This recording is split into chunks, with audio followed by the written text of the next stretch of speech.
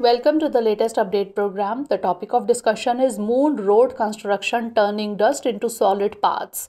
Researchers have discovered that lunar dust, composed mainly of dark grey lunar volcanic rock, could potentially be used for constructing roads and landing pads on the moon. Experiments on Earth used simulated lunar soil exposed to concentrated sunlight to melt it into solid rock slabs Lunar dust presents challenges due to its abrasive nature and electrical charge, posing hazards to space exploration. To address this, scientists used concentrated sunlight in experiments to create triangular hollow-centered tiles that could interlock to form solid surfaces for lunar roads and landing pads.